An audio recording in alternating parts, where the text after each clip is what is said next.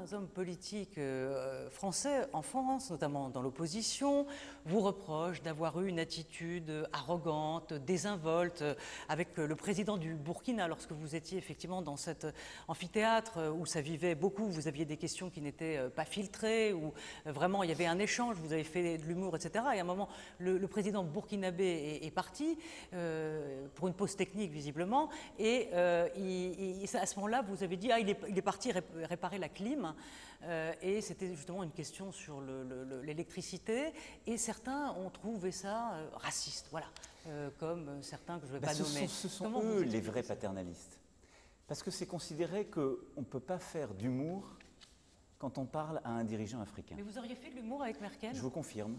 J'aurais fait de l'humour avec tout dirigeant européen avec qui j'ai cette relation. Nous n'avons pas ce type de relation avec Angela Merkel. Je l'ai par exemple avec Jean-Claude Juncker, je l'ai avec euh, le Premier ministre luxembourgeois. Ça dépend de la relation personnelle. Il se trouve qu'avec Roch Caboret, nous nous entendons bien.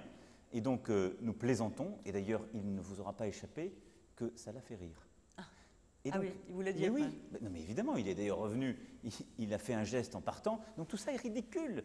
C'est ridicule d'abord parce que les commentateurs étaient hors contexte. Vous étiez là et vous avez vu qu'il n'y avait rien de ce qui a été commenté. Il y avait simplement l'énergie, la vitalité, la sincérité d'un moment euh, et de son instantanéité.